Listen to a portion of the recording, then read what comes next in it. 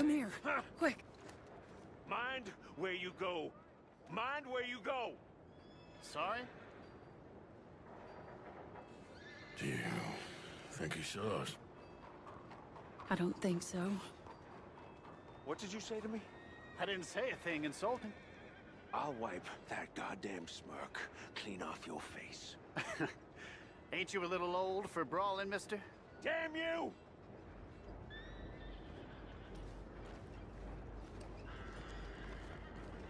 He's heading across the road. You know, this is kind of fun. Shh. He'll hear you.